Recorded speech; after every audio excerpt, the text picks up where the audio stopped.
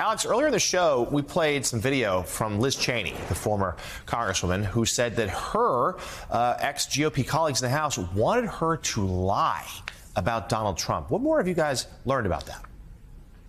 Absolutely. Speaking at her alma mater of Colorado College, she went and encouraged, uh, basically said that Republican leaders, um, as you said, wanted her to lie in order to keep her position as the number three in the conference. Essentially, she was saying that she faced a choice of telling the truth about January 6th and Donald Trump and the insurrection at the Capitol or keeping her power. And that she, that in that clear decision, she chose one way or the other. Interestingly enough, though, while she was at that speech, about half the college crowd still turned their backs on her, not because of her position on January 6th or making that you know, brave political decision, but because of her past record on some other Republican issues, showing that even if you make that one stand, still the, in this polarized country, people people still had diverging opinions. Well, yeah, that's a really, really good point. And this high profile speech comes amid some speculation as to what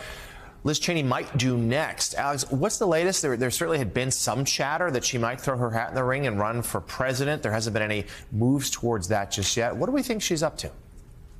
I mean, more than just chatter. She spent a few hundred thousand dollars putting ads on the airwaves in New Hampshire, uh, which is if there's any state where you'd have sort of one of the quote unquote never Trump Republicans really trying to make it make an entry, it would probably be in New Hampshire, which has that sort of maverick reputation.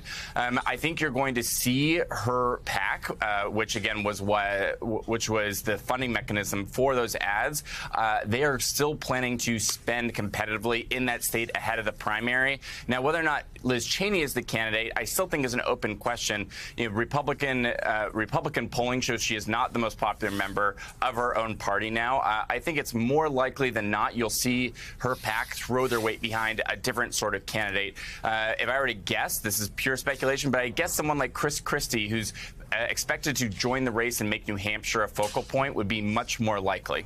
Yeah, it's not quite clear what Cheney's lane would be. Mike Pence also, were he to jump in the race, the same issues, where he made a decision about January 6th that so many Republicans oppose. And we should note Ron DeSantis makes his debut on the campaign trail today in Iowa, his first time as a declared candidate. But Alex, we want to close with an important new piece of reporting that you guys have at Axios about preserving the stories of the last Holocaust survivors. Please tell us about it. Yes, absolutely. Essentially, we are now in the last generation of people who survived the Holocaust, and you're seeing museums and other and other groups basically go out of their way to memorialize them and make sure that you know the memories uh, of those horrific events are not lost to history. Yeah, certainly. So very, very important now more than ever, particularly as we see a rise of anti Semitism and hate across much of the globe. National political correspondent for Axios, Alex Thompson, thank you so much for being with us this morning.